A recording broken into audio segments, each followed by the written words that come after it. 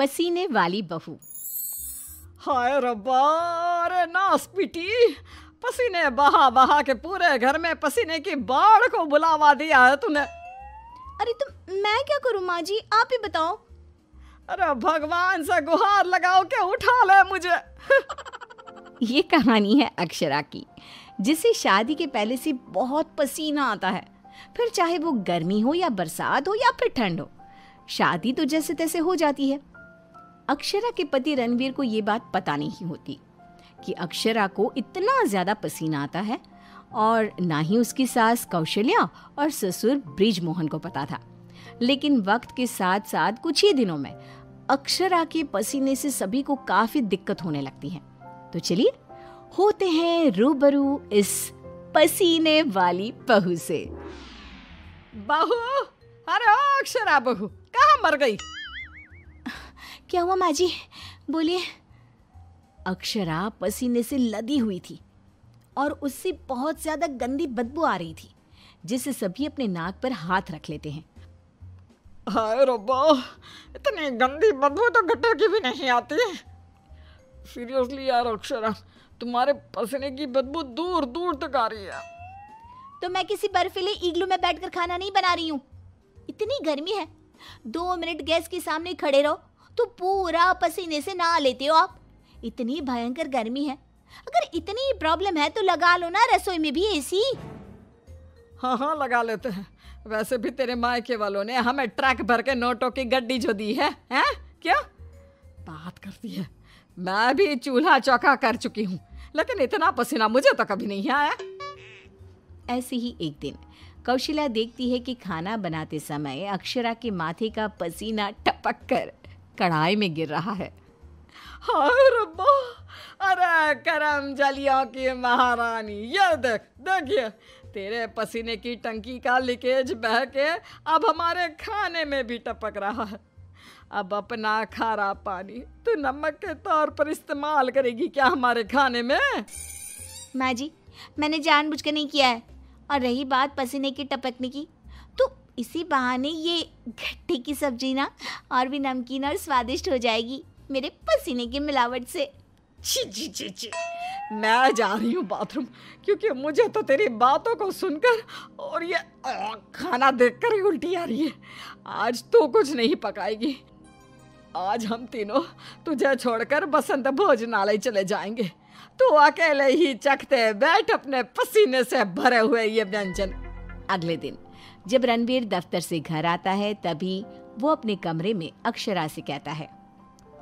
अक्षरा कल बॉस की वाइफ का बर्थडे है इसलिए उन्होंने हमें खास न्योता दिया है। तो तुम और मैं कल पार्टी में जाएँगे। मैं ब्लैक कोट पहनूँगा तो तुम ब्लैक साड़ी पहन लो। ओके पति जी और कोई आदेश? नहीं नहीं आदेश नहीं लेकिन एक रिक्वेस्ट है। वैसे तो पार्टी में एसी होगी लेकिन फिर भी ना तुम पूरी परफ्यूम की बोतल को अपने ऊपर छिड़क के ही चलना।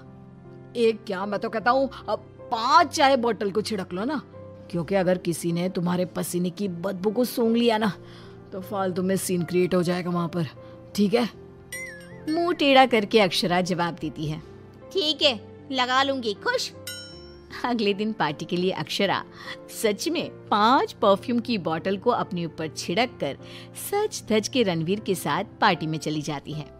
पार्टी में एसी थी, इसलिए पहले के पंद्रह से बीस मिनट तो कुछ भी नहीं हुआ। लेकिन उसके बाद से जो अक्षरा को पसीने छूटने शुरू हुए, कि बस, वो पसीने से भीग कर गिली होती ही जा रही थी। और उसकी बहुत गंदी बदबू भी आने लगी जिसको सुनकर पार्टी के गेस्ट आपस में बात करने लगे। अरे ये इतनी गंदी बदबू कहाँ से आ रही है? शायद किसी के जुराबों की गंदी बदबू है ये। जुराबे नहीं मामला कुछ और ही है जनाब। इतनी बड़ी फाइव स्टार पार्टी में पता नहीं कहाँ से घुस गया कोई गटर का कीड़ा। तभी रणवीर अक्षरा को धीरे से कहता है तुम्हें कहो तो ना परफ्यूम, पाउडर और साबुन से दस बार नहाना। लेकिन तुम्हें तो पता है ना कि मुझे पसीने छूटते ही हैं, चाहे कितना भी कुछ भी कर लूँ।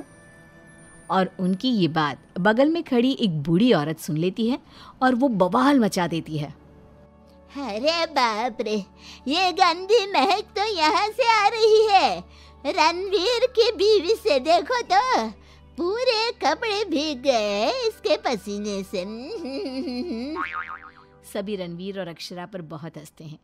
रणवीर घर जाने के बाद अक्षरा को खूब डांटता है। मिला देना पानी में मेरी पूरी मेहनत से कमाई हुई इज़्ज़त। अरे अक्षरा बहू किस मिट्टी की बनी हो तुम? जो पसीने का झरना बहता ही रहता है तुम्हारे बदन से। बारह महीने और चौबीसों घंटे नॉन स्टॉप अरे, अभी तो इस कलमुहे के कलेजे को ठंडक पड़ी होगी। लोगों के कुंडली में मार्केश दोष होता है, लेकिन हमारी बहू की कुंडली में पसीना दोष है। अक्षरा को अपने ससुराल वालों की बातें सुनकर बहुत बुरा लगता है, लेकिन फिर भी वो कुछ नहीं कहती और अपने पसीने बहने को अपनी गलती मानकर चुप रह जाती है।